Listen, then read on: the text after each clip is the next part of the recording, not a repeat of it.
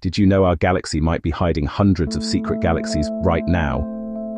Astronomers studying the outer halo of the Milky Way have found strong evidence that many tiny satellite galaxies are still invisible to us. These galaxies are incredibly faint, made mostly of dark matter, and orbit far beyond the bright spiral arms we can see. Some are located over 300,000 miles beyond the visible edge of our galaxy, drifting silently in the dark.